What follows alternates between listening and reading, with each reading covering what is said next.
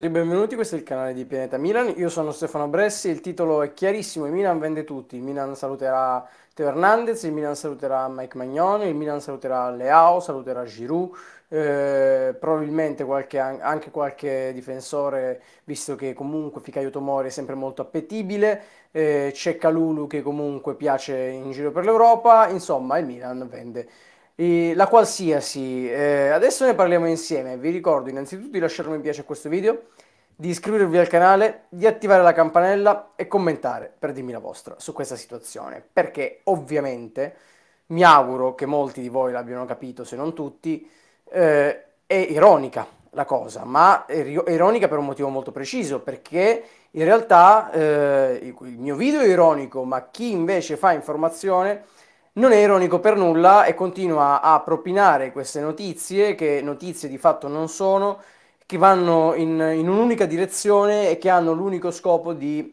agitare eh, le acque, di creare scompiglio e di far preoccupare i tifosi del Milan. Guarda caso puntualmente durante la sosta, perché durante il campionato di offerte non ce ne sono mai, poi quando arriva la sosta per, il, per le nazionali arrivano fior fior di offerte a tutti i giocatori del Milan e guarda caso solo ed esclusivamente ai giocatori del Milan. Siamo una squadra, secondo molti, che eh, ha una rosa non così forte, eppure tutta, tutta Europa vuole i nostri big. Teo Hernandez lo vuole il Bayern, lo vuole il Real, lo vuole il PSG, Leao lo vogliono tutti eh, Magnon è il portiere più ambito d'Europa, anche se a detta di tutti quest'anno sta floppando malamente. Eh, come detto, Tomori piace di nuovo in Premier, Calulu lo vogliono tutti. Però hai hai mai visto che c'è stata un'offerta per un giocatore di un'altra squadra dell'Inter, un Bayer su Di Marco, un... Uh, eh, un Real Madrid su Lautaro Martinez. Noi stiamo ancora aspettando il rinnovo che è pronto da sei mesi di Lautaro Martinez, ma ancora la firma non è arrivata. Adesso probabilmente arriverà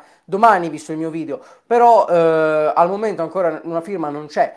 Eppure mh, Lautaro Martinez nessuno lo mette sul mercato, o sbaglio? Perché il rinnovo di Mignon è un problema e quello di Lautaro Martinez che invece è, come dire, sta dimostrando di essere un problema? Mignon è un problema senza che neanche ci sia una vera e propria trattativa. Tu e Hernandez hanno già deciso che non rinnova. Leao, nonostante abbia rinnovato l'anno scorso, comunque va via anche se c'è una clausola da 175 milioni. Lautaro Martinez che deve rinnovare da mesi non rinnova, il suo procuratore dice semplicemente che le, che è una situazione complicata, però siccome invece la dirigenza nerazzurra dice che va tutto bene, e allora va tutto bene, però il rinnovo intanto non arriva. Ripeto, poi c'è un Turam che è stato preso a zero e potrebbe essere una grande plusvalenza, eh, c'è la Juventus che, dovrebbe, che, che, probabilmente dovrà ancora una volta cedere qualche pezzo pregiato per, per finanziare il proprio mercato, c'è il Napoli che perderà Osimen eh, e magari forse anche Kvaratskhelia, Insomma, tra l'altro eh, facciamo attenzione perché il Milan, lo ripetiamo nuovamente, e fa sempre comodo, fa sempre bene ricordarlo perché visto che chi parla di queste cose fa finta di non saperlo, anche se lo sa molto bene, è l'unica tra queste squadre che ho menzionato, ma anche tra tutte le altre che non ho menzionato, che non ha nessuna necessità di vendere un giocatore. Perché il Milan, se arriva un'offerta da 200 milioni, per ipotesi, per Teo Hernandez e il Milan la vuole rifiutare, può farlo. Poi è evidente che, eh, che di fronte a, di, a offerte di questo tipo il Milan non andrebbe a rifiutare, ma è l'unica in grado di poterlo fare, ad avere la forza, volendo, di poterlo fare. Una Juventus o un Inter, vista la loro situazione economica, non se la possono permettere. Turam, se dovesse arrivare un'offerta importante, farebbe lo stesso, stesso, identico percorso che ha fatto Onana l'anno scorso, cioè è arrivato a zero, eh, è rivalutato e ceduto a una cifra importante. Così come probabilmente eh, l'Inter dovrà rinforzare il centrocampo, visto che comunque avranno tutti i giocatori un anno in più e magari qualcuno potrebbe andare via. Insomma, le altre che devono cedere, non, avete, non reggerete mai nessun titolo, da nessuna parte, su nessuna cessione e su nessun interessamento. È notizia di oggi, Zhang anche in Italia è stata confermata la, la, l'accusa per cui è debitore di, di, di 350 milioni, fossero solo quelli. Però c'è qualcuno che non l'ha neanche riportata questa notizia. Viceversa, quando la Guardia di Finanza è andata a indagare sul Milan, per probabilmente nulla, per arrivare probabilmente a nulla, eh, mentre qui c'è già una sentenza, eh, lì c'erano i titoloni, adesso non, nessuno ne parla. Questo video voleva essere ovviamente molto ironico, il Milan non cederà probabilmente nessuno dei suoi big, eventualmente se dovesse cedere qualcuno cederà eh, per, a, a fronte di un'offerta veramente molto molto importante, veramente molto molto importante. L'anno scorso Tonali è stata una situazione particolare in cui è stato lui stesso a, ad accettare questa destinazione e soprattutto perché appunto era arrivata un'offerta da circa 80 milioni che il Milan ha, ri, ha ritenuto essere nettamente eh, più alta rispetto al valore del, del, giocatore.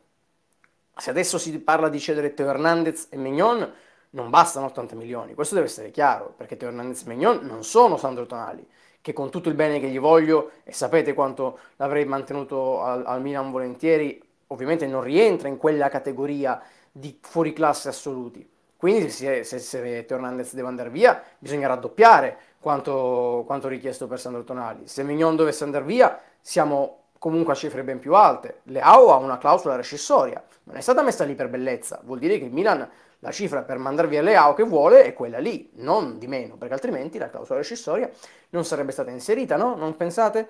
Quindi eh, non vi allarmate quando leggete che Teo Hernandez eh, non, potrebbe andare in Arabia, perché non ci credo neanche se lo vedo che Teo Hernandez va in Arabia.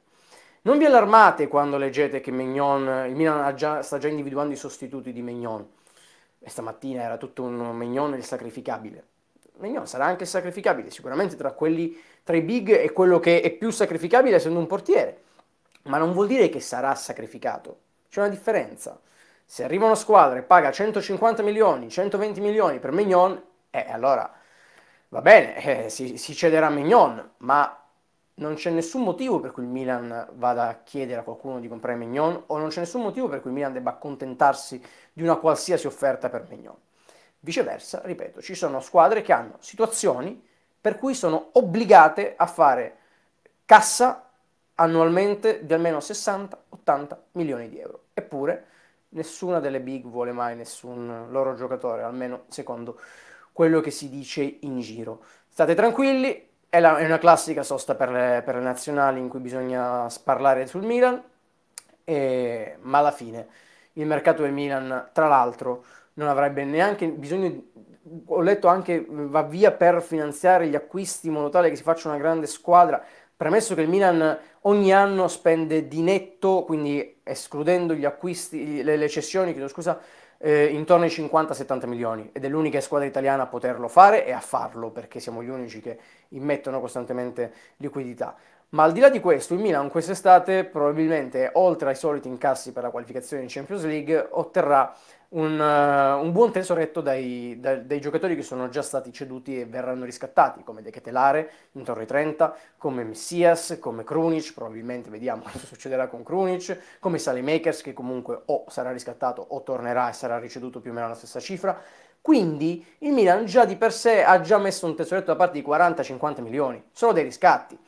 Eventualmente un, un, paio, un altro paio di cessioni di giocatori minori si possono fare, intorno ai 15-20 milioni, arriviamo a 60-70 che vanno sommati a quelli che già di solito spenderemo. I soldi che l'anno scorso il Milan ha preso da Tonali li prenderà in questo modo quest'anno. Quindi per, con buona pace di tutti quelli che ci vedono già smantellare, perché poi vanno via tutti, no? Perché va via Hernandez, va via Mignon, va via Leao, va via Tomori, va va via Calulu, vanno via tutti, va via Benasser, va via, andrà via Giroud, quello forse è vero perché non rinnoverà, però mm, aspetto anche i titoli su Pulisic la prossima volta, visto che l'abbiamo rivalutato parecchio. State tranquilli, lasciate un mi piace a questo video, iscrivetevi al canale, attivate la campanella, commentate per dirmi la vostra, seguiteci su pianetamilan.it su tutti i nostri profili e scopriremo quest'estate quali saranno le cessioni degli altri.